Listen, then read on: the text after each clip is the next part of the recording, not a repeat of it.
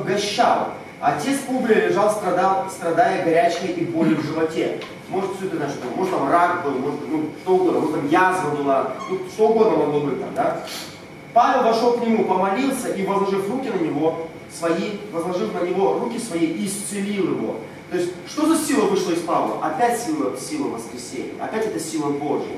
То есть апостол Павел, он мог использовать эту, эту силу не только для того, чтобы исцелять людей, но и для того, чтобы самому иметь божественное здоровье. Это, вот это нужно понять. Хорошо. Теперь смотрите, последнее место читаем и будем молиться. Написано так. Второе послание Коринфянам, 11 глава, 23 стих.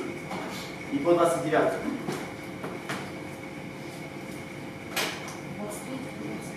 Второе Коринфянам, 11 глава, 23 стиха по 29. Такое непримечательное место, непримечательное место.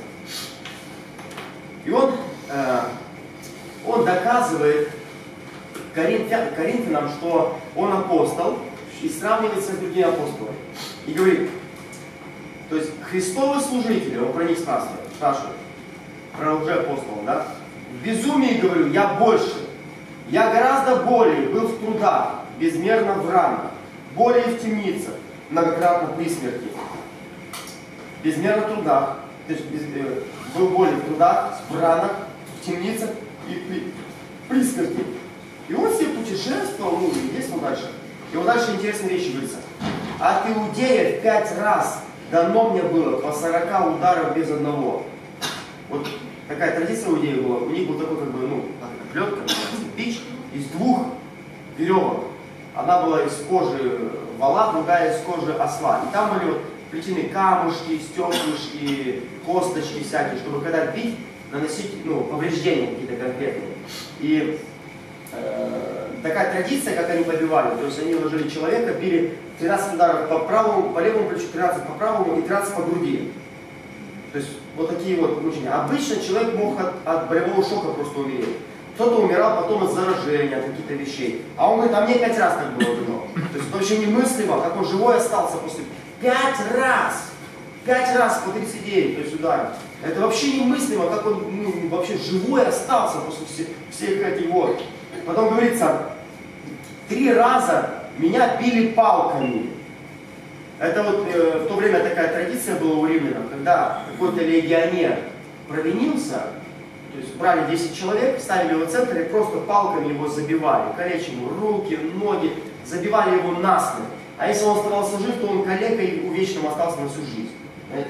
А он говорит, меня три раза били палками. А он, ну, представляете, вот маленькая травма головы, все, внутричерепное давление, ты уже никакой не служитель, ты уже не можешь ехать, путешествовать, а он тогда не путешествовал с комфортом, все ножками, ножками, понимаете, ножками, нагрузки колоссальные испытывал. Он после таких побоев он еще путешествовал, церкви открывал. Что за сила его восстанавливала? Вот вопрос. Потом говорится так, однажды камнями побивали. Но эта история есть. Есть в Евангелии. То есть Деяния апостолов. Мы когда это место разбирали, мы в Сочи делали семинар, и там был один пастор такой в возрасте, он учился в семинарии в Израиле. И он говорит, а ты знаешь вообще, как побивали, традиция побиения камнями? Он говорит, как? Ну вот, допустим, забивают человека, и потом делают такой акт милосердия. Кто-то один берет огромный камень и кидает ему на голову, чтобы уже не мучился, убить, то есть, ну, сто процентов, чтобы убить. И оттуда пошла вот эта вот традиция пострельный контрольный выстрел в голову. Да, вот оттуда пошла. То есть, э, и вот поэтому, когда апостола Павла побивали камнями, они почитали его мертвым. Потому что он через всю процедуру прошел. Через всю. Знаете, с последним таким э, э, состра... актом сострадания, да, то есть от голову. И он встал на следующий день и 80 километров пешком пошел в Галатию. Думаю, 80 километров пешком после такого побиения. Что за сила его восстанавливала вообще? Знаете, мы понимаем, что это была сила воскресения. Это была сила воскресения.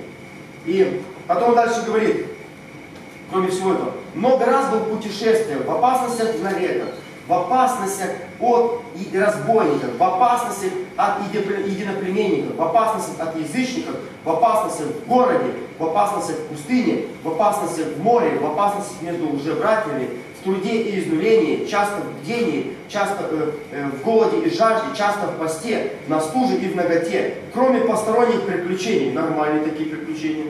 Да? Кто из вас хотел бы такие приключения иметь? Мало кто. Да? Кроме посторонних приключений, у меня ежедневно течение людей, забота о всех церквях, кто изнемогает, с кем бы я не изнемогал, кто, бы, кто соблазняется, за кого бы я не воспламенился. Как? Как? Как? Откуда у него были силы переживать такие побои, да, увечья, такие нагрузки и при этом нормально себе дальше служить Господу? Как? Какая-то небольшая травма, человек все, уже не может нормально служить, не может нормально работать, ему уже э, там, пенсию по инвалидности, он уже ну, не, неэффективный. Как апостол Павел такой был? Он знал откровение, которое он говорил Ефесянам, я молю, чтобы вы познали, как безмерно величие могущество у вас. Безмерно, нет меры. Да? Верующий подействует державной силы его, потому что эта сила, она воскресила Христа. Именно эта сила. То есть это сверхъестественная сила, могущественная. И мы видим, его его, его ничем не может дьявол. Ну, в конце концов, и, э, он решил, как бы, э, уже отрубили ему голову. То есть убили фильм «Бой с Дунканом Макклауд». Да, бессмертный, видели? Да, бессмертный, нужно было голову отрубать. Они уже, они уже там, ну, говорили, слушай, ну, сатана уже просто говорит, уже все перепробовали, нужно рубить голову. Рубить голову и разделить как можно дальше. И апостола Павла казнили в Риме. То есть отрубили ему голову. Но суть в том, что у него это откровение, оно генерировало эту силу. И он обладал каким-то божественным иммунитетом, он обладал божественным здоровьем, он обладал каким-то божественной регенерацией, он обладал силой, которая возлагала руки, эта сила с ним выходила и исцеляла людей. Это сила Духа Святого, который обитает в нас. Понимаете? Поэтому, друзья, мы должны получить откровение. Когда мы получим откровение, тогда чудеса начнут происходить в нашей жизни. И не только в нашей, но и в жизни других людей, за которых мы будем молиться.